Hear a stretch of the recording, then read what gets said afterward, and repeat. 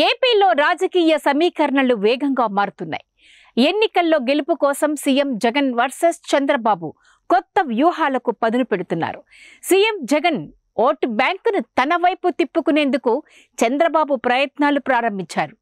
ముఖ్యమంత్రి తన vote bank మరింత పెంచుకునేలా అడుగులు వేస్తున్నారు. ఇద్దరి గెలుపు ఓటములను డిసైడ్ చేసే ఆ రెండు పాయింట్ ఐదు కోట్ల ఓట్లు ఇప్పుడు ఇద్దరికీ అధికారం అందించడంలో డిసైడింగ్ ఫ్యాక్టర్ కానున్నాయి.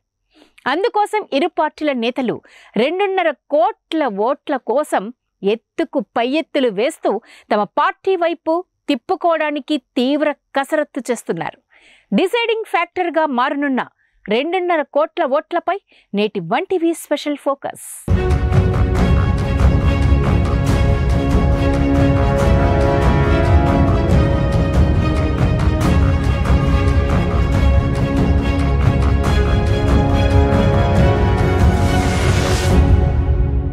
ఏపీలో మహిళా ఓటు బ్యాంకు పైన లెక్కలు అంచనాలు మొదలయ్యాయి. రెండు వేల పంతొమ్మిది ఎన్నికల్లో గెలిచిన సమయం నుంచి రెండు వేల ఇరవై నాలుగు ఎన్నికలపైన జగన్ ఫోకస్ చేశారు. అప్పటికే ఇచ్చిన హామీల అమల్లో తొలి నుంచి వ్యూహాత్మకంగా వ్యవహరించారు.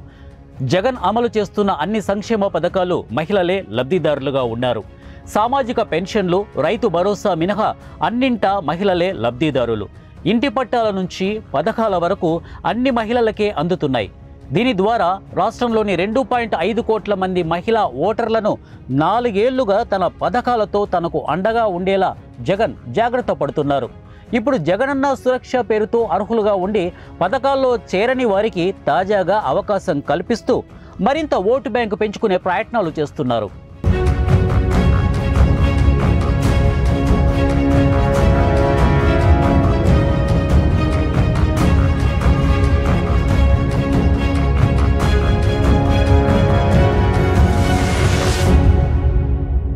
Why not one seventy five ధీమా వెనుక పథకాలు. లబ్ధిదారులేనని చంద్రబాబు గ్రహించారు. పదే పదే ప్రస్తావించే అభివృద్ధి నినాదానికి గ్యాప్ ఇచ్చి సంక్షేమం అజెండాను పార్టీ జెండాగా మార్చారు. పార్టీ మహానాడు వేదికగా తొలి విడత మేనిఫెస్టోను ప్రకటించారు.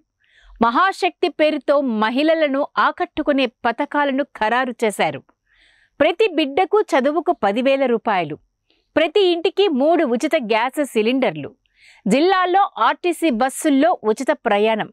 ప్రతి మహిళకు పదహైదు వందల నగదు వంటి అంశాలు ప్రకటించారు. వీటిని ఇప్పుడు మహిళల్లోకి తీసుకువెళ్ళి జగన్ పథకాల కంటే మెరుగైన పథకాలుగా ప్రచారాన్ని ప్రారంభించారు.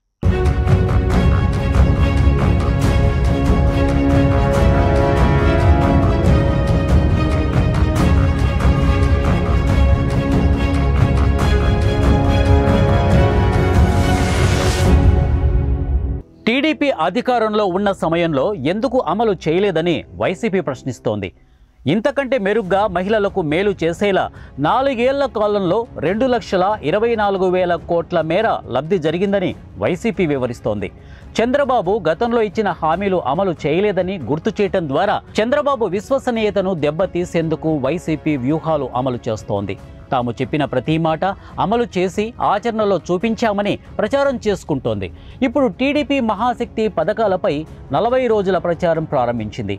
గతంలో చంద్రబాబు ప్రవేశపెట్టిన డ్వాక్రా సంఘాలపై ఆ పార్టీ శ్రేణులు ఫోకస్ పెట్టనున్నట్లు తెలుస్తోంది.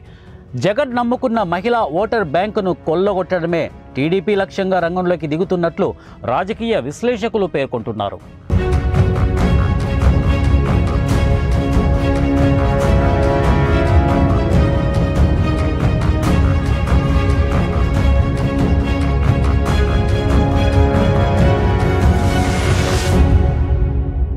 రాష్ట్రంలో అధికారం చేపట్టినప్పటి నుంచి జగన్ ప్రభుత్వం సంక్షేమం సామాజిక న్యాయం పేరుతో నాలుగేళ్ళుగా చేస్తున్న ప్రయత్నాలు కలిసి వస్తాయా? ఇప్పుడు మహాశక్తి పేరుతో చంద్రబాబు కొత్త వ్యూహాలు ఫలిస్తాయా అనేది మహిళా ఓటర్ల నిర్ణయం పైన ఆధారపడి ఉంది. మహిళా ఓటు బ్యాంక్ చెక్కు చెదరకుండా కాపాడుకోవడానికి వైసీపీ పార్టీ ప్రయత్నిస్తుండగా మరోవైపు ఎలాగైనా మహిళా ఓటు బ్యాంకును చీల్చడానికి టీడీపీ సరికొత్త ప్రణాళికలతో జనంలోకి వస్తుంది.